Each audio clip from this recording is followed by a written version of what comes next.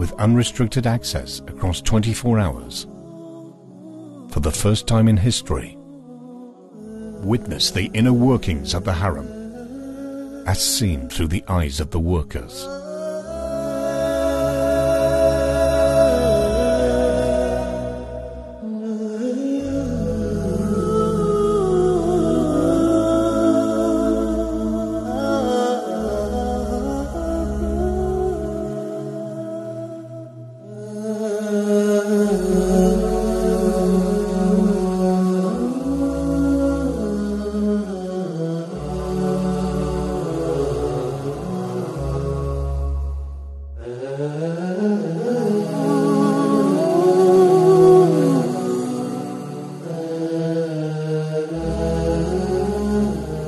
And the Kaaba as it's never been seen before.